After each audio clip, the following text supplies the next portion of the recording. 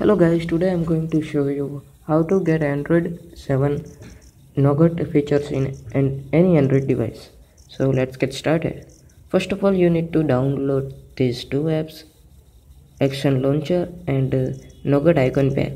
Links are links in our description, so you can download these those apps from that link. So after you download these apps, you need to open them so we open action launcher start fresh. So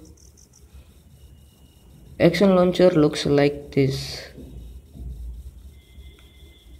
Looks like pixel launcher.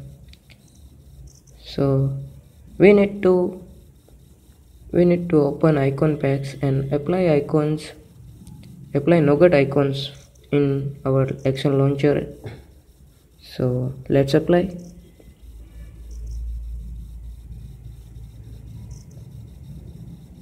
So now you can see the android nougat ui in your android device with 3d touch. Thanks for watching this video. I hope you enjoyed.